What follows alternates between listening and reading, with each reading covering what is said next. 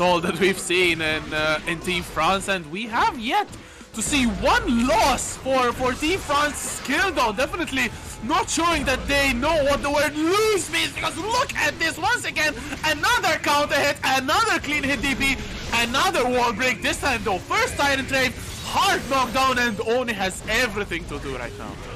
That's gonna be a lot to do indeed. Oni in the corner. The combo should be enough. Skyll is barely challenged right now. Oh my god. Once again, and only uh, not able to start off any offense going Skyll. Always the first one to go in on the offense and unrelentless and unwavering going in. There's the Gunflame into the Fafnir, pressuring towards the corner. There is a beautiful clean hit DP once again. The 700 one of the set into the Trade. That's